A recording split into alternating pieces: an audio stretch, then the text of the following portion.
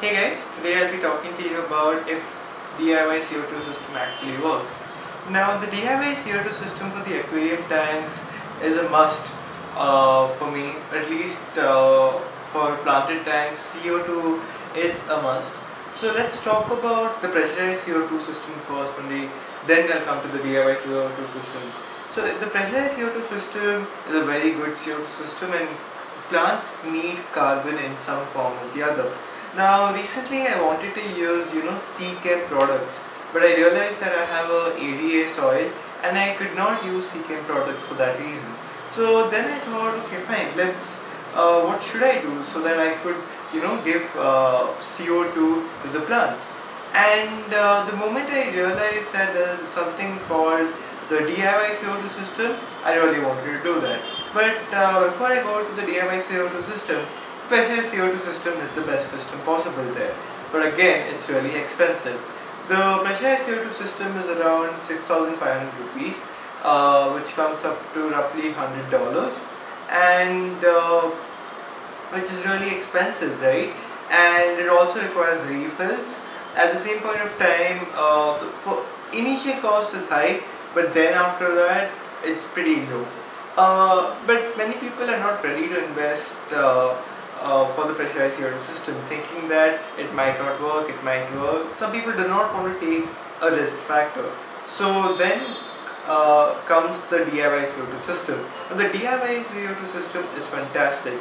If you do the mixture right, if you get the constituents right, you can run the mixture easily for two weeks and uh, there's obviously a certain amount you require for a tank.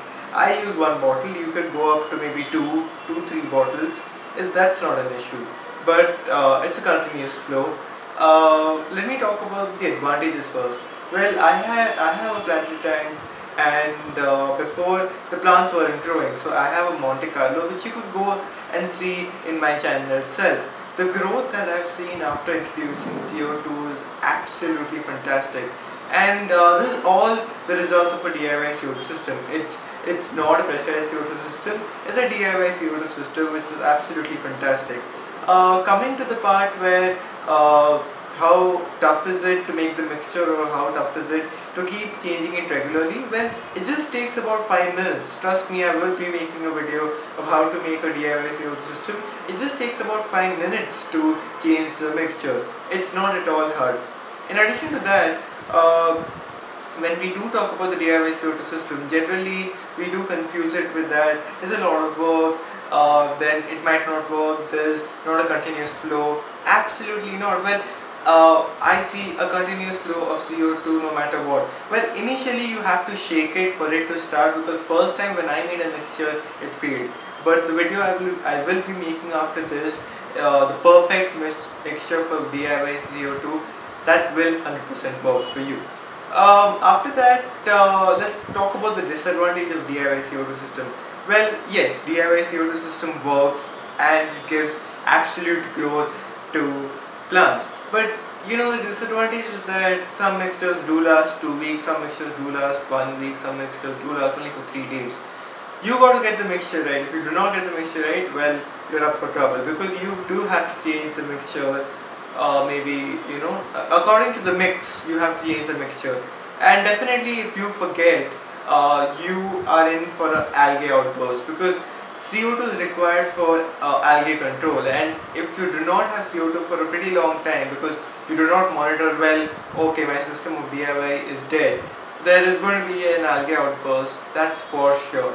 Well not only that, uh, the disadvantage is also that you know you do have to change the bottles at regular interval. You can't just keep using the same bottle, maybe you have to change it in every 6 months. But end point uh, I had no CO2 uh, in the beginning of my tank and my tank wasn't even growing. You know the plants weren't even growing to a point where I could say that I could have a lawn because I am targeting for a lawn and stem plants.